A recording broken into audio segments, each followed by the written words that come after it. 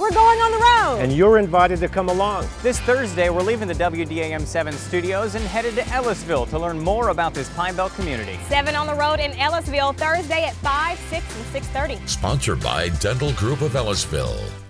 There's lots of reasons to go on the road to Ellisville. And here's another. At the Dental Group of Ellisville, new patients get free teeth whitening. And tell them the Tooth Fairy sent you. Can't wait to see you on the road in Ellisville.